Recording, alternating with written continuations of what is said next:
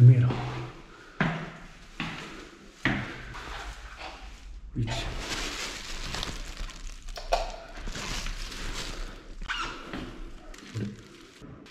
あ、こっちか。あ、もう。あ、マイルです。お疲れです。俺これ、いや、落ちてたずっと。マジでないんだよねこれ電気です、これ電気です。こっちかな？これ、これですね。これが、せいフリーなんで、どうもこんにちは。せいや、あです毎度です、毎度です。あ、すみません。ありい。がとうございます。です。お邪魔します。どうぞどうぞ。ちょっと。わあ、すごい家やね。天井高くていいね、やっぱり。天井だけ高いの昔の家だから、それ、それだけが売りっていう感じだけど。よし。ど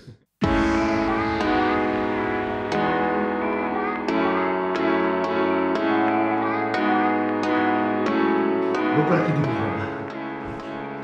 せいやはいつバルセロナに来ましたか？来たのが2017年の7月ですね。2017年ってことは4年前。4年前ですね。はい。その前どこにいたん？その前、ニューヨークに、ニューヨークにどれぐらいいたん？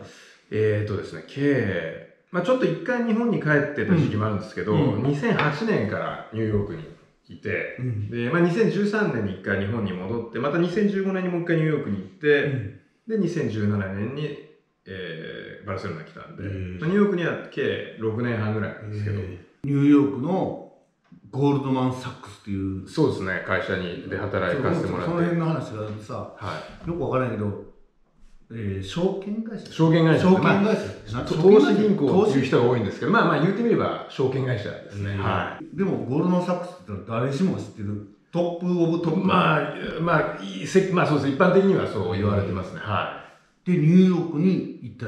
そうですね。たまたまちょっといろんな、本社？そうですね。そういう本社はい。おーまあもともと日本の支社というか支店に六本木で勤めてたんですけど、うんまあたまたまそのニューヨークの、うんまあ、スポットが空いて、えで、えっと、あの、日本からこう行かせていただいて、夢のニューヨークやんはい。まあそうですね。別に日本もすごい好きだったんですけど、夢のニューヨはークやのに、なんでバルセロナ？い。そうですね。うんあの、バルセロナは、そういう意味では、ちょっと話が遡っちゃうんですけど、うんあの、結構2000年の初頭ぐらいですかね。もううん。20年ぐらい前ですかね。うん。まず、あの、20年前、はだいぶ前。もうだいぶ前ですね。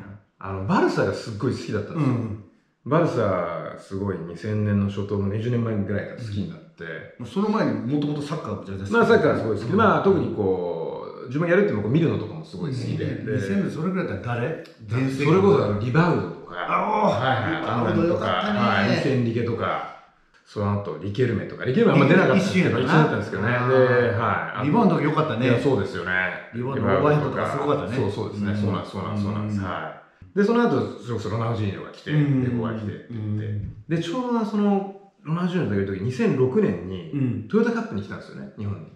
えバルセロナ来たっけ？来たんです、来たんですって。えその前来てないどこだったっけな？ででも来てて、それを生で見に行って、うんさらにこう、すごい好きになっちゃって、えで、あのー、2008年にニューヨークに移ってから、もう本当に、じまあ、日本にいた時時差が言うてもあったから、うん。あんまり見れなかったんですけど、うん。ニューヨーク行ってから時差がすごいなくなったんで、うんその、ラリーガが見れるケーブルテレビに速攻入って、チえーャンピオンズリーグもちょっと抜けてみたりしてたんですけど、あの ちょっと、あの、ミーティング行ってきますって、ちょっとバーとか行ってたんですけど、あの、なんでほとんどそのぐらいからもう欠かさず見てて、うん。で、それで、なのでこう、当時からこう、なんかこう、バルセロナ一種の憧れで、うん。なんかこう、あ、バルセロナいいなっていうのがあったのと、生ハムにハマってスペイン。おこれをなんか日本のあの、青山にあるスペイン料理で初めて、あの、あのハモンイベリコ、イベリコメジョータを食べたら、エル・カステリアーノ。おー知ってる。あの二階とかやろそうそうそうなんか親子でやってるそうそう。ねあのおじさん、レアル・マドリッドファンみたいな。あそうだ。そうあそうやったっけ？そうそうそう。なんかたまになんかブルブルってそうそうそうそうあで、レアル・マドリッドの選手の写真とか貼って、めっちゃうまいじゃないですか。あそこ好き好き。あそこでなので、あの、イベリコベジョを食べて、うんこんなうまい食い物世の中にあるのかなと思って、うんで、なんかスペインもなんか、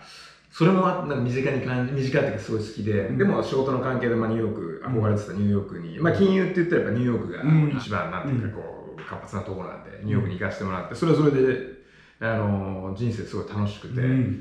あの、まあ、すごくいい時間過ごさせてもらってたんですけど、でも、一方で、こう、いつか、まあ、こう、バルセロナ、なんかいいなって思ってて、で、2009年に、うん。の11月だったんですけど、うん。あの初めてなんでこう、憧れのバルセロナに旅行できたんですよ。うん。あので、その時3泊とかだったんですけど、うん。あの、それこそバルセロネータのあの、えーアルツっていうホテルに泊まって、うん。クジラの横にあるホテルに泊まってそれこそうん初めて行ったバルがあの、うん。バソデオロ、うん。あの、うん。そのうん行きつけの、あそこ行った。なんかすっげえ素敵な街だしご飯も美味しいし天気もいいし、それニューヨークから来たってこと？ニューヨークからニューヨークからそう旅行で。正反対やもんな。そうなんですそうなんですそうなんです。太陽全然違うんですそうなんですそうなんです。この人人がも明るくて。仕事してんのかな？そうそう本当にそうでそう。なんですよね。せそうやな一方はねニューヨークのなんてウォールマートじゃないウォウォウォール街ですね。ウォール街ってやつウォールストリートですね。ウォール街ストリートは映画で見てるよう。わうわーやってる中で、はい。きなりバルセロナにいたらそれはこんなちねいそうそう癒されて、まあそうなんやそうなんです。それで2009年に来て、やっぱ街にもこうこう一目惚れじゃないですけど、めっちゃいいなと思って人も優しいし飯もうまいし、だから現そこから本当に現実的に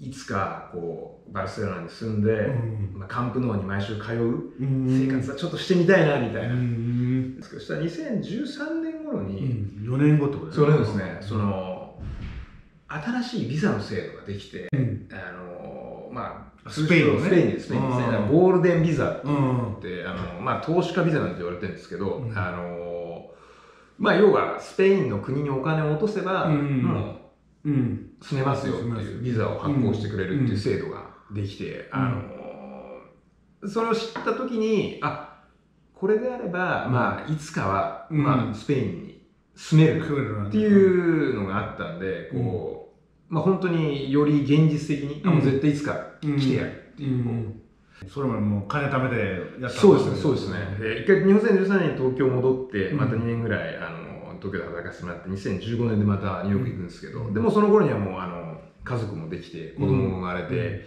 あの、来てる中で、えー、2016年に、こう、ユーロが下がったんですよね。うん。で、ユーロの価値がすごい下がったんで、うん。あのーまあ投資としてとりあえずあの家をバルセロナ買っとくかってういうん。話になって、うん。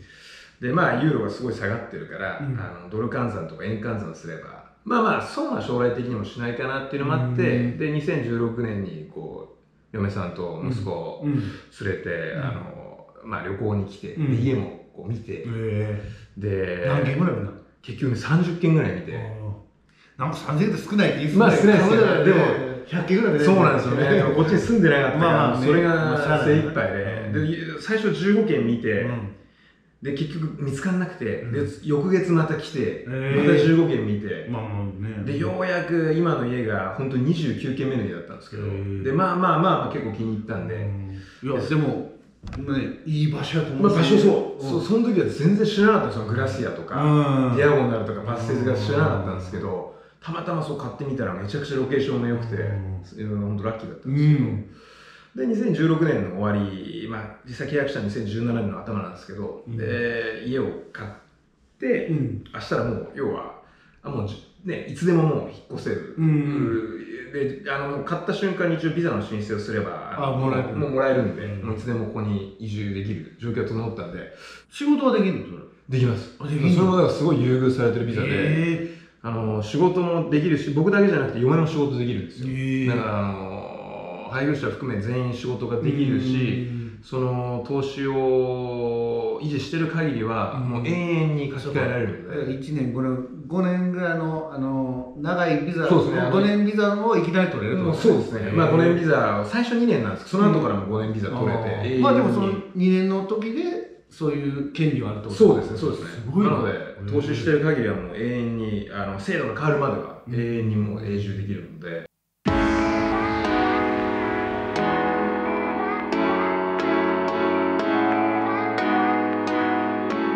はいせいやさん。すごいやね。とんでもないです。天井高いな。おうロック君ちょっと紹介してやこの部屋を。これどういう部屋？えっと、リビングルームで、うん。でっかいテレビに、テレビおでっかいテレビ。でっかくないよな。えっと、天井、あ。古い電気、古い電気。えっと、はい高いテーブル、はい。高くないよ。電子レンジ、はい。コップ、えっと、お皿。はいすごい古い家なんだよね。120年ぐらい経ってるんだよな。だからちょっと古いからいろいろ不便だけど、まあまあ、しゃあないって感じだな。古いから、寒いしな。ま冬はあ、えー隙間も空いてるし。寒いの？その風入ってくる、冬めっちゃ風入ってくるよね。だから外の声がすごい聞こえてくる。たまにうるさいよね。なそうえー酔っ払いの声とか聞こえんちゃ聞こえるよな。前の人パーティーやってるもんね、よく。う、えーやってるよな。俺もここたまに夜帰るとき通るとき叫んでない？確かにたまに静香さちく、しょーって言ってない？ような気しますね。ちくしょーって言ってるかもしれんたまに日よ。本語が聞こえてくるような気がしてます。えーありがとうございます、ロック君。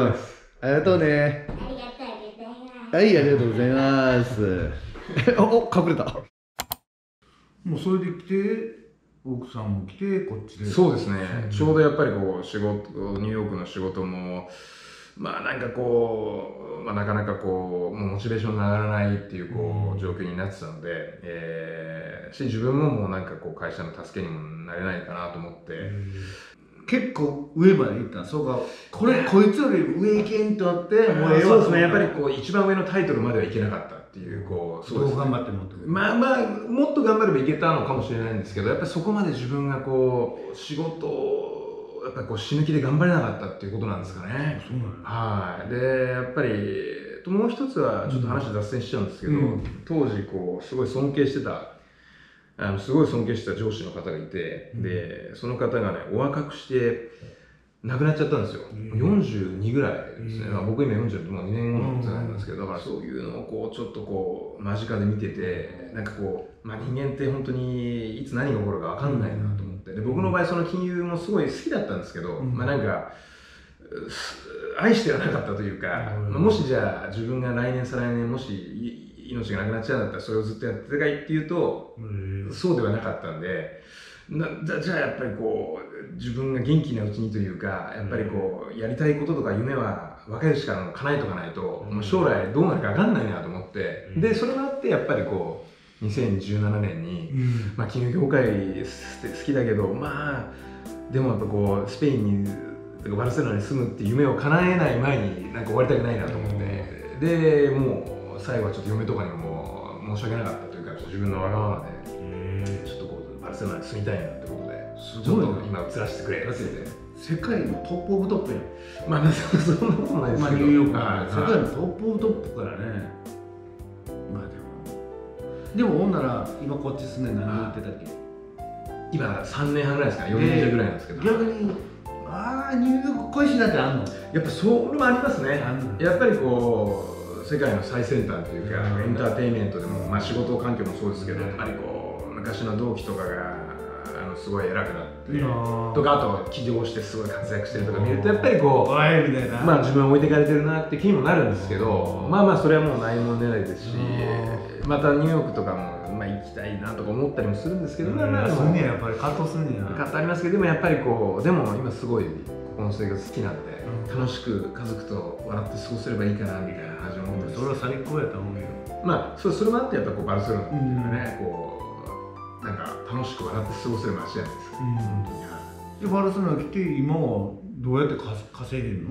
まあ、そういう意味ではちょっと今はあのーまあちょっと少しちょっと休息したいっていう期間なんであんまりこう仕事らしい仕事はしてないんですけどあのーまあ当然一生これが続かないんで今まあいろいろまあ23考えてまあ来年ぐらいからちょっといろいろスタートしたいなと思ってるんですけど今の今で言うとまああの家で株式投資やったりとか、でまあ、たまたまちょっと株式市場のこう調子が、まあ、一昨年ぐらいからいいんで、まあ、それでい。なんとか、まあ、今年去年今年は、まあ、生活費ぐらいは、まあ、稼げるっていう感じなんですけど、まあ、あとはたまにこうちょっと知り合いの方からこう通訳の仕事とか、あうんの最近だとちょっとこうバルサの選手の、うん。あのインタビューを、うん。えーのこういうなんつうか字幕を入れるえー。日本語のとこ訳したりとか、うんまあ、そういうちょっとバイトみたいなのをやらせていただいて、えでまあちょっとこう少しお金を稼いで、そうですね。まあ食べる分ぐらい稼いで、うん。そうですね、まあ、ちょっと今その将来に備えてるっていう状況なんですけどね、はい。